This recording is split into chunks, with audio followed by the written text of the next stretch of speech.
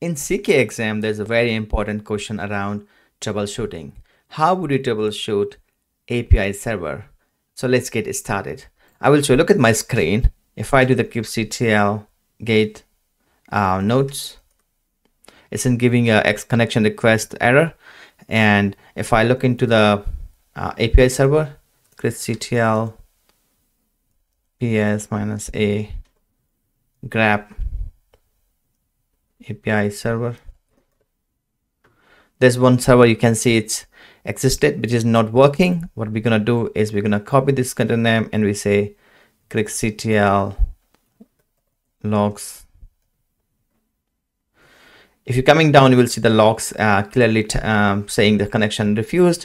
We know because it's been using uh, a port number 2380, which is which is not the right port. It should be a 2379 now what we're gonna do is quickly we get into cd um, etc slash kubernetes slash manifest right?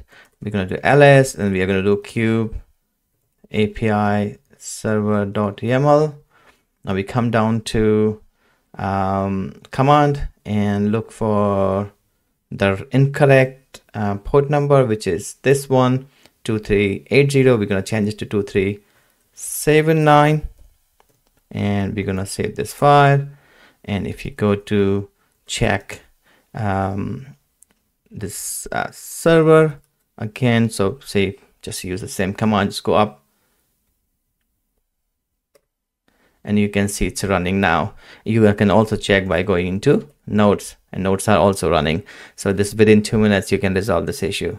So all the best for the exam and check my other videos.